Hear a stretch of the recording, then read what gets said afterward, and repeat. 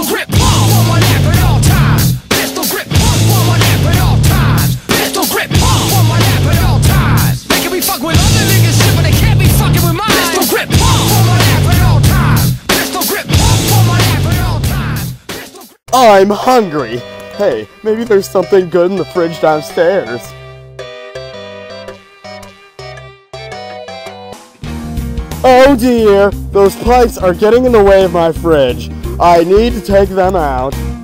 20 minutes later. And so I say to the store owner, that's not a banana, that's my nose.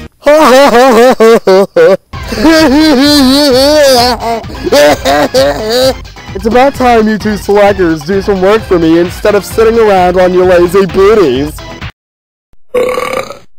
Okay, now, I want you two corn dogs to eliminate these pesky pipes so I can reach my fridge. In the meantime, I'll be talking to my cousin on the phone. Plug Goose, if we break these pipes, it's obvious that Fatty's gonna get a flood in his house. Boy, what an idiot! Well, let's get this done! Hello? Hey, Tyrone, guess what? Oh, hey, Fatty, what's going on down there?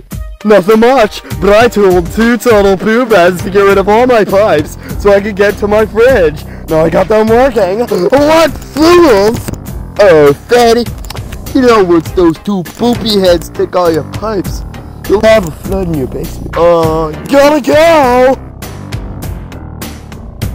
You dumb doofuses!